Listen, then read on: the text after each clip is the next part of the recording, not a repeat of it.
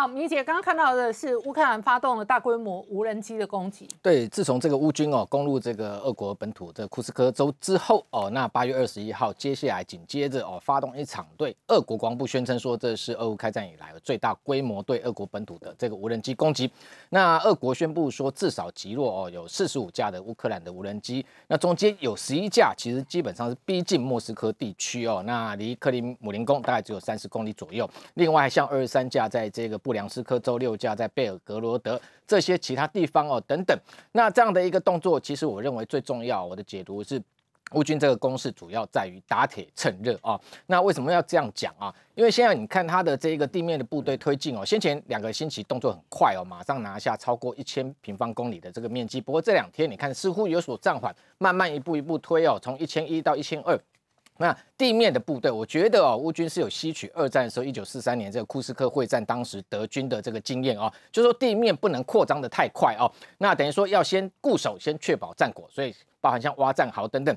这个部分也在哦，防备接下来俄军有可能呢，这个调动他的这个军力，那回来哦，想要拿回这些哦这些领土。那这个部分我觉得很重要，就是说无人机的攻击，当然还是有它重要的这个战略上面的意涵哦。第一个我刚刚讲打铁趁热之外，另外打进库斯克，基本上就已经戳破这个普丁哦，唯一能够。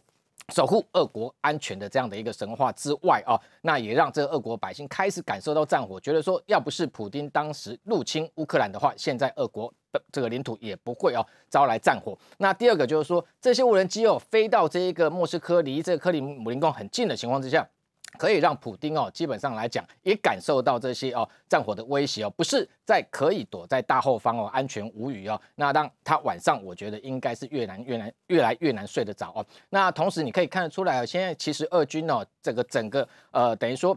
公式来讲啊，是兵力吃紧的，因为整条这个俄乌战场的这一个战线是长达一千多公里哦。那散布在包含像它重兵是放在乌东哦，那库斯克这个地方基本上上现在来讲，必须要调调重兵过来。那普京这几天呢，做了一个外界。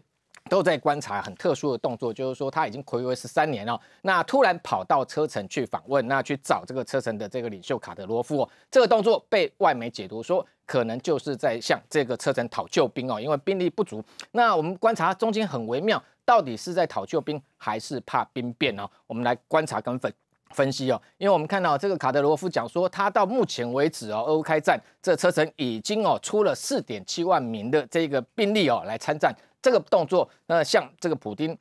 当然一个很重要输城的这个意涵哦。那普丁，我觉得当然也在安抚这一个哦卡德罗夫。第二个哦，如果说这一个呃这个接下来他要展现忠诚，那是不是应该要讲说，那我愿意再出多少这一个兵力？但是都没有谈到这个数字，所以这个部分我们观察很特殊哦。第一个就是说，你今天四点七万名兵力算不算多？其实完全不算多，因为我们看前面呢。这个瓦格纳集团兵变，普里戈金哦，当时耗了十万名的兵力，在巴赫姆特这一战哦，直接贡献给这个俄罗斯，贡献给普京都不嫌多。那同样照样兵变哦，所以你这。卡德罗夫是不是因为这样就表示你忠诚？其实我认为哦，这个普京心中是有疑虑，所以特别飞到这个地方哦。那同时还有乌克兰的媒体也观察讲到说，这个卡德罗夫哦，其实他在为接下来普京有可能倒台，可能俄国内部发生权斗在做准备哦。因为他的现现有的这些部队哦，如果不保留一定实力哦，又送到这一个俄乌战场上面去当炮灰的情况之下，接下来如果普京真的哦倒台的情况，非常有可能他就会这个被这个斗。斗倒你同样跟着垮台，所以为了保住他的权威哦，接下来卡德罗夫的这个动态，他车臣还会出多少兵？我觉得这是一个重要的指标。那还有，包括像俄国国防部其实也谈到说，为了因应这库斯克这个地方哦，呃，遭到这乌克兰的进攻哦，现在准备组织哦三个集团军哦，那包含像有这个库斯克集团军、贝尔格罗德，还有别良斯克哦。那外界评估可能有五到六万的兵力，但实际上是不是有这么多的兵力，其实是值得怀疑的，因为。事情发到现在已经发生到现在已经两到三周哦，那普京还讲说要在十月一一号以前把乌兵哦赶出俄罗斯的本土。你如果算一算，从八月六号开始这个行动，那这个时间长达两个月。这个普京居然有这么大的容忍度，可以让他的领土被乌克兰直接控制占领到长达两个月。那能不能拿回来？外界也是觉得这个值得观察，也是有所疑虑哦。因为现在兵源不足，本来就没有战略预备队的情况之下，必须从其他部分来抽调组成杂牌军。所以最近。有一支哦，这个算是空天军，俄罗斯的空天军哦，它太空跟这个空军是合在一起哦。那临时组了一支这个摩步团，而且中间的成员哦，很多都是连工程师都找来了，连后勤补给这些地面部队的单位全部都拿来哦，组成一支部队，未来要丢入这一个